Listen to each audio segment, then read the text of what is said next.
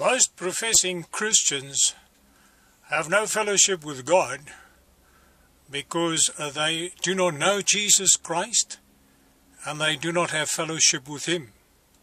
The Apostle John explained this in 1 John chapter 5 verse 20.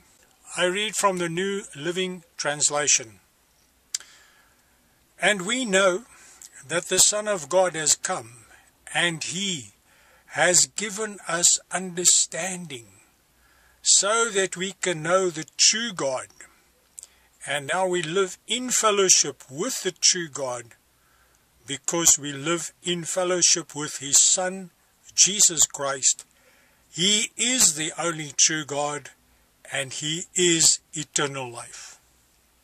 If you do not have Jesus Christ, you do not have life. The Apostle John writes here that Jesus came and he gave them, the disciples, understanding. And that same understanding that he gave to them, he also gives to us. That he himself is God. And that if we live in fellowship with Jesus Christ, then we live in fellowship with God. But if we do not have Jesus Christ, if we are not in Christ, and Christ is not in us, then we do not have fellowship with God. Most professing Christians just believe in Jesus Christ for salvation, but they do not know Him, and therefore they will perish. They do not know who Jesus is. They do not know that Jesus is God.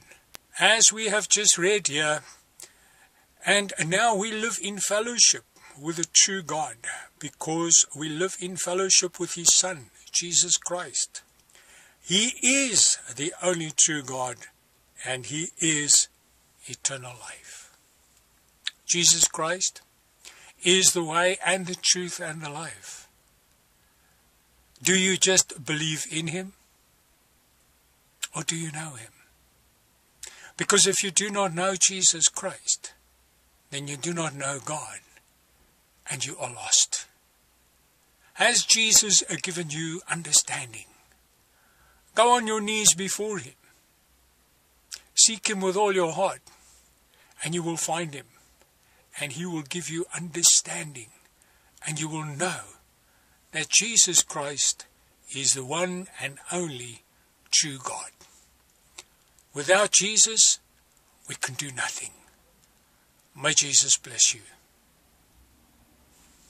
Jesus Christ is alive and hell is real. I am here to introduce you to Jesus Christ so that you can know him and follow him and have eternal life. Subscribe to my channel to learn more about Jesus. May Jesus bless you.